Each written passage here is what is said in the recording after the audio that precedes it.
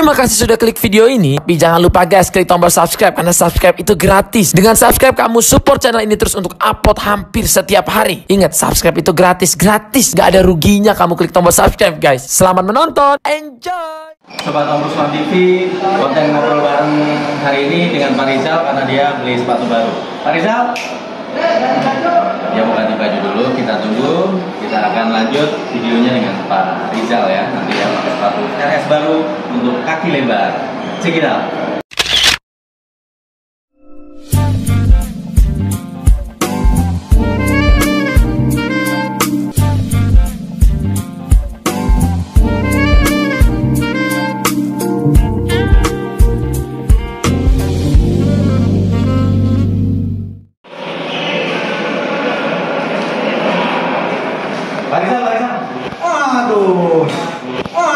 Waduh.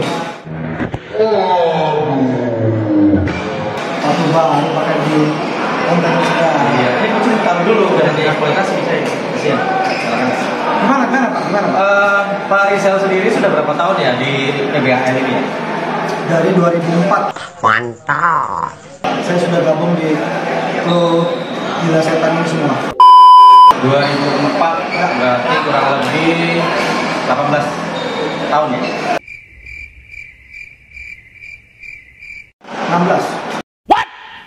18 tahun. 18 tahun ya. Masuk. 18 pas 18 tahun pas. keren udah lama juga guys Termasuk ke 10. senior ya Tidak pernah terlambat bayar orang. Sombong amat.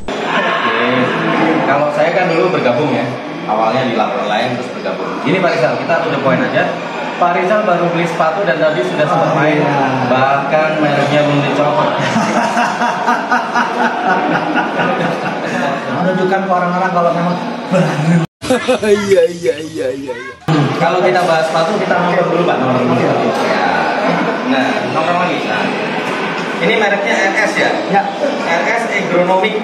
Berapa harganya? bangunnya 460-an. 460 Eh, diskon persahabatan karena sama-sama orang Jawa jadi sekitar 330 pakai kemis-kemis 333 netnya.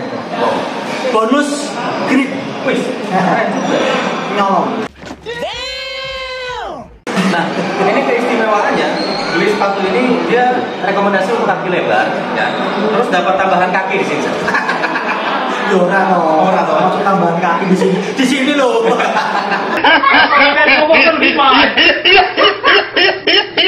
Eh, lambang bahwa memang ini untuk kaki lebar ya. Jadi rekomendasi untuk yang white foot ya, oh, oh, foot ya, white fit apa apa nih? Foot. Jadi ini memang rekomendasi kaki lebar, makanya ada lambang ini. Nah kita rekomendasikan buat teman-teman yang memang eh, kakinya lebar bisa beli untuk eh, RS yang ergonomik ini ya. Dan harganya cukup ekonomik juga ya Pak ya. ya Ini apa nih? S626.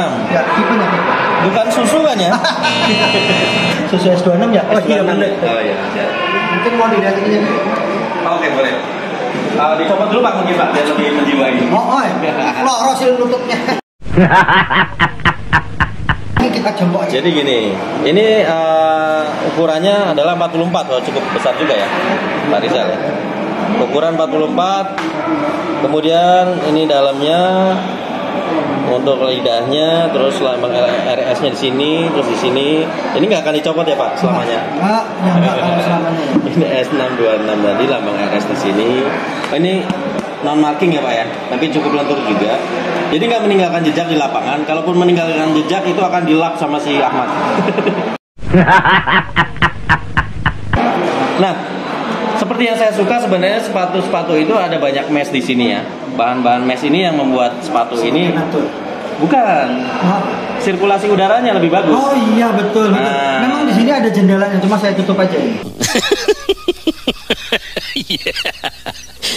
Jadi kalau mes ini kita nggak terlalu panas, ya.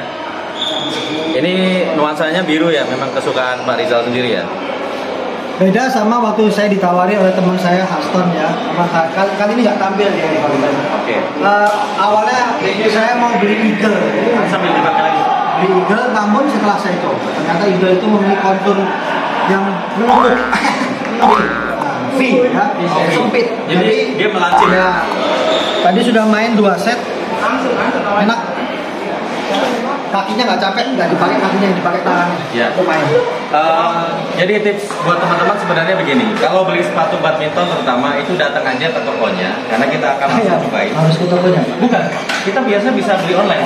Tapi kalau ke tokonya kita bisa cobain sesuai nggak sama kaki kita gitu. Kalau kaki kita lebar itu lebih enak kita langsung datang aja. Jangan terpengaruh sama harga maupun merek. Yang penting nyaman di kaki karena kita mau pakai main bermain kaki. Betul. Sehingga mengurangi resiko cedera baik di lutut, di betis maupun di telapak kaki. Itu serius pak ya pembahasannya. Ya udah cukup kontennya untuk hari ini dengan Pak Rizal Cekidot. di PPAL kita di acara ngobrol bareng. Ketemu lagi di ngobrol bareng selanjutnya dengan siapa pun itu. Terima kasih. Wassalamualaikum warahmatullahi wabarakatuh. Jangan lupa subscribe Om Ruslan TV ya. Subscribe. Thank you.